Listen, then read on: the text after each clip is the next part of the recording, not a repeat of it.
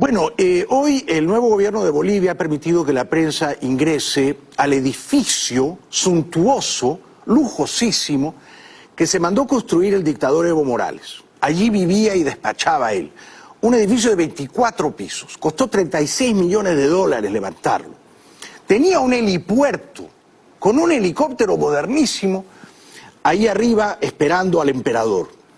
Bueno, imágenes eh, de los tres pisos superiores del edificio donde vivía cómodamente el dictador. El edificio del pueblo, el lugar en donde residía Evo Morales, tuvo un costo de más de 34 millones de dólares y fue inaugurado en agosto de 2018. Aquí está la lujosa suite del piso 23 y 24, el lugar predilecto de Morales. El nuevo gobierno interino abrió la puerta de la vida privada de Evo Morales al mundo para mostrar el derroche con el que vivía. Tres habitaciones, entre ellas el dormitorio del exmandatario, un amplio guardarropas, una cama gigante y mesas de cama que aún muestran el transcurrir de sus noches. Vivía como rico y apelaba y hablaba a nombre de los pobres. Esta es una clara muestra de algo que no quería. Seguramente por estos detalles y todo lo que se ha llevado, seguramente por todo eso, Evo Morales nunca permitió que se ingresen al piso 23 y 24 de la Casa del Pueblo. Bueno, vivía a todo lujo. ¿Cómo podría sorprendernos? Ya los conocemos a estos charlatanes de la izquierda chavista, ¿no? Dicen que son defensores de los pobres, que van a reducir la pobreza, pero la única pobreza que realmente reducen es la suya, ¿no? Ellos salen de pobres, a los demás los condenan a la miseria más abyecta. Evo vivía como un jeque árabe. Al entrar, un vestíbulo digno de un hotel cinco estrellas. Ventanales de techo a piso, color hueso en las paredes junto con una pantalla. Un comedor de ocho puestos, mesas y escritorios de madera fina. En el baño principal, una tina de hidromasajes y detalles en mármol. La suite también contaba con una sala de juntas, pero el detalle más ostentoso quizás es el helipuerto ubicado en la parte superior del edificio. Tenía un helicóptero, y un helicóptero moderno, precioso.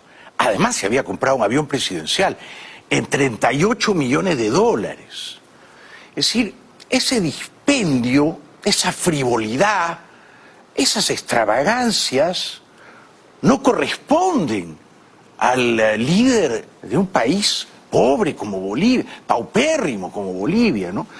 De modo que son profundamente cínicos y desvergonzados. ¿eh? Estos chavistas de nuestra América. Entra también la televisión chilena al Palacio de Evo. Él decía que era la casa del pueblo. Del pueblo, ¿cómo no?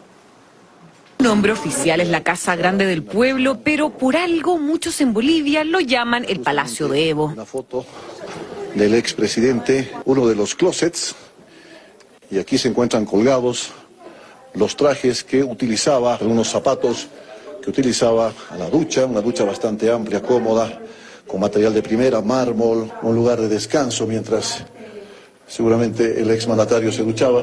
Y al fondo tenemos un moderno jacuzzi con todos los controles digitales, el hidromasaje, es que sí luce por dentro el Palacio Presidencial y lujosa residencia oficial del expresidente Evo Morales, que cuenta con una suite principal equivalente al tamaño de 17 viviendas sociales en Bolivia. Pero por eso se resisten a dejar el poder. Todos son iguales, todos. Eh, Chávez y Maduro, Fidel Castro y su hermano Raúl y Díaz Canel, los Ortega en Nicaragua, Evo, Correa en Ecuador. Todos son iguales. No dejan el poder, no lo van a dejar nunca, a menos que lo saquen a las bravas, porque se permiten unas vidas desahogadas, principescas, regias. ¿Qué digo principescas? Regias. Viven como realeza. Y el pueblo, bueno, ese no es un problema de ellos realmente, ¿no? Bueno. Eh, a un equipo de la televisión argentina, del canal periodístico, periodístico TN,